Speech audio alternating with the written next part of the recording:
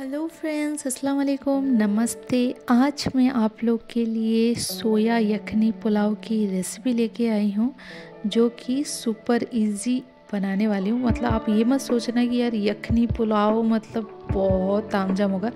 कुछ तामझाम नहीं है। इसे मैं आपको आज कुकर में बना के दिखाऊँगी और कितना इजी और कितना जल्दी बन जाता है।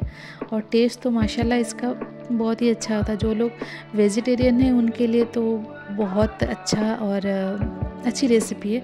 तो फिर चलिए देख लेते हैं हमें इसके लिए क्या क्या चाहिए और इसे हम कैसे बनाएँ।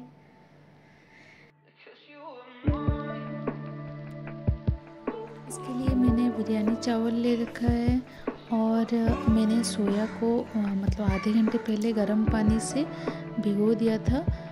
तो ये अच्छी तरह से भीग चुका है। देखिए, ये पूरी तरह रेडी है। उसके बाद मैंने खड़े मसाले में दालचीनी इलायची, दो लौंग काली मिर्च और तेज़पत्ता और अदरक लहसुन का दो से तीन चम्मच पेस्ट ले रखा है। टमाटर को मैंने इस तरह से बड़े बड़े पीसेस में काट लिया है और प्याज भी मैंने बड़े बड़े पीसेस में काटा है मतलब काट रखा है। और आलू आपको इस तरह से काटना है और ये जो पत्ता है, इसे अन्नपूर्णा पत्ता बोलते हैं। अगर आपके पास अवेलेबल है तो आप इसे डालें। अदरवाइज़ आप इसके जगह पर पुदीना या हरा धनिया भी डाल सकते मसाले में मैंने हल्दी, नमक और लाल मिर्च ले रखा है। ये बिरयानी मसाला मैंने ले रखा है। ये घर का बना हुआ है। इसका भी रेसिपी मैं किसी दिन आपके साथ शेयर करूँगी। तो फिर, चलिए ये सारी चीज़ें हमारी रेडी है। आप यहाँ पे जीरा पाउडर और धनिया, जीरा पाउडर आप चाहें अगर डालना तो आप इसमें एक चम्मच जीरा पाउडर भी यूज़ कर सकते पर मैंने यहाँ यूज़ नहीं किया है। सो यहाँ पे मैंने रिफाइंड ऑयल ले लिया है, चार चम्मच, और इसमें मैं बटर ऐड कर रही हूँ।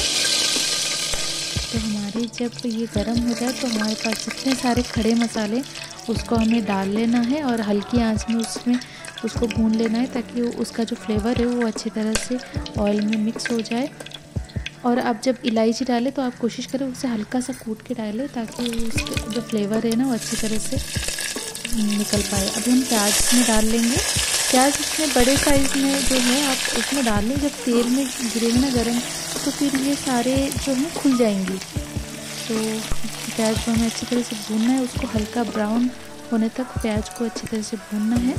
अभी प्याज जो है वो ब्राउन हो गया है। अब उसमें हम अदरक लहसुन का पेस्ट डाल के उसे अच्छी तरह से उसमें भून लेंगे।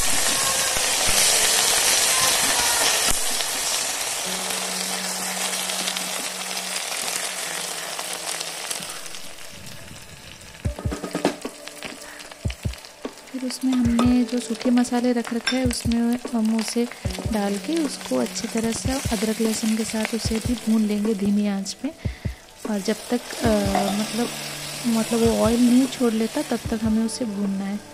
आप यहाँ पे जीरा पाउडर जो है वो एक चम्मच टीस्पून भी उसमें डाल सकते हैं।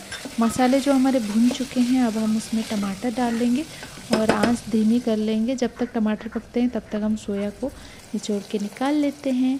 टमाटर हमारे पक चुके हैं। अब हम इसमें सोया डाल के मसालों के साथ सोया को आप अच्छी तरह से भूनें ताकि मसाले हैं वो अच्छी तरह से अंदर अंदर तक जाए। जब सोया अच्छी तरह से भून जाए, उसके बाद हमें आलू डालना है और जो हमने भिगो रखे थे, चावल उसको डालना है और बिरयानी मसाला डाल के जो एक कटोरा अगर आप उसमें डाल रहे हो ना मतलब चावल तो आपको उसमें दो कटोरा पानी देना है क्योंकि उसमें हमने आलू और सोया वगैरह डाला इस चक्कर में।